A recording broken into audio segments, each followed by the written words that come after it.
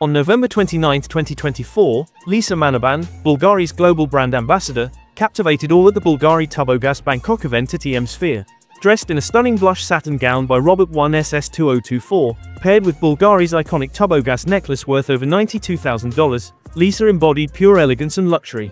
Her chic wavy hairstyle and glowing natural makeup further highlighted her goddess-like appearance. Fans went wild, cheering non-stop as cameras clicked away, capturing every dazzling moment.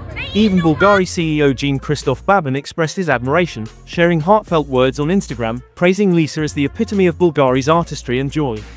During the event and dinner party, Babin and Lisa shared the spotlight, posing for photographs that captured their warm camaraderie. Standing beside Lisa, he looked every bit the proud CEO, as if introducing the world to a dazzling treasure.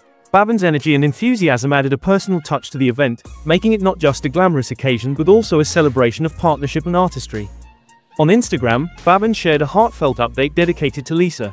In his post, he thanked her for her unwavering respect and love for Bulgari, describing her as the embodiment of the brand's artistic and joyful spirit. His words reflected not just admiration but also pride in having Lisa represent Bulgari on the global stage. This thoughtful gesture resonated deeply with fans, further solidifying the powerful synergy between Lisa and the iconic luxury brand under Babin's leadership.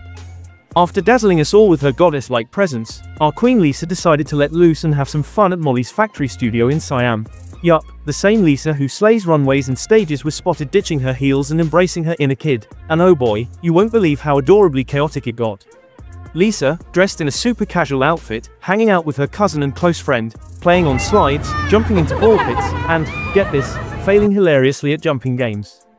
And the highlight? Lisa versus the claw machine. Tension was high, guys. Lisa finally snagged her dream plushie. The way she lit up with pure joy, honestly, it could cure Monday blues worldwide. Fans who were lucky enough to spot her couldn't stop filming and sharing the precious moments. And hey, don't go anywhere, there's more exciting Blackpink tea brewing on Blackpink Today every day. See you in the next video.